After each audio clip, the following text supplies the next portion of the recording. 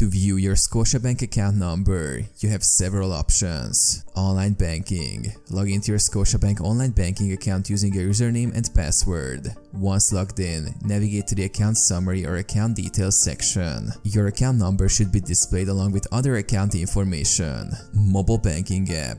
Open the Scotiabank mobile banking app on your smartphone or tablet. Log into your account using your credentials. Access the account summary or account details section to view your account number. Checkbook. If you have a checkbook from Scotiabank, your account number is typically printed on the bottom of each check. Look for a series of numbers at the bottom of the check.